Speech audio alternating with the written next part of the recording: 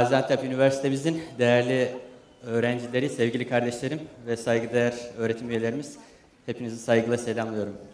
four, three, two, one. Ignition.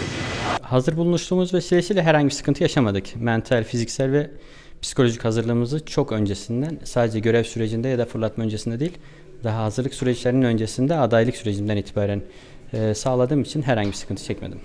Yani zaten uzayda bulunmak başlı başına ilginç bir süreç. Sıra dışı bir süreç. Ancak yeryüzü gözlemleri, doğa olaylarının uzaydan görüntüsü ve aynı anda kıtaların üzerindeki farklı hava hareketleri ilginç e, gözlem süreçlerinden bir tanesiydi.